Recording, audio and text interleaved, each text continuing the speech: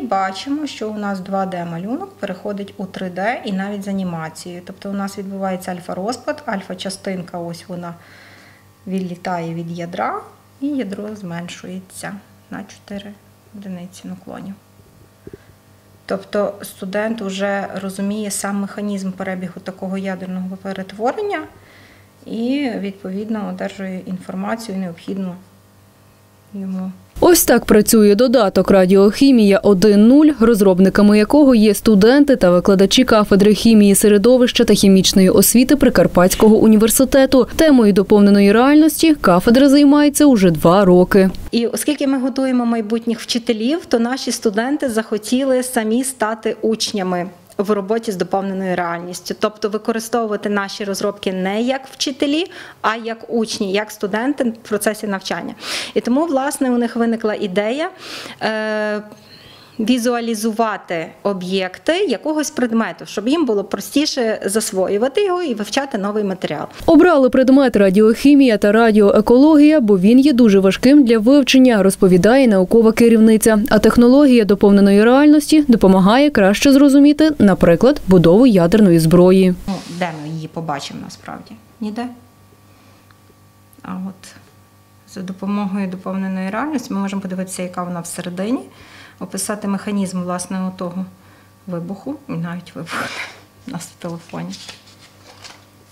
Ядерний реактор. Так само макет, який показує, як він працює. Повністю так само ніде ми всередині в ядерний реактор заглянути не можемо в реальних умовах. А за допомогою 3D-моделювання ми це можемо зробити просто на столі. Найбільше це допомогло саме у час дистанційного навчання, зазначає Лілія. Оскільки, коли студенти навчаються вдома, так викладач не може достеменно знати, що вони засвоїли і як вони цей матеріал засвоїли. А така візуалізація, такий от такий інтерактивний посібничок, скажімо, який у нас вийшов в кінцевому результаті, він дуже допомагає. Загалом додаток працює у трьох режимах. Окрім візуалізації доповненої реальності, він є інтерактивним посібником.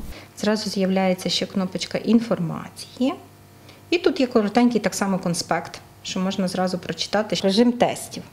У нас є два рівня складності тестів. Перший, звичайно, простіший. Так, чотири відповіді, закрите запитання, чотири варіанти відповіді. І, власне, словничок, якому зібрані всі терміни, які вимагаються від них, щоб вони знали. Відтак, розробивши додаток, студентки Прикарпатського університету стали призерками другого туру всеукраїнського конкурсу студентських наукових робіт у галузі інформаційно-комунікаційні технології освіті. Загалом на конкурс було подано понад 70 наукових робіт. Цього року взяли участь власне дві студентки Тетяна Костюк та Іванна Гладкоскок, які є авторами цього додатка. Конкурс відбувався у два етапи. Перший етап це було сліпе рецензування. І за результатами рецензування ми прийшли до другого етапу, де вже студенти у формі усного захисту представляли свої наукові розробки. Власне, нашу наукову розробку представляла на конкурсі Тетяна Костюк. Ну і за це ми одержали диплом другого ступеня.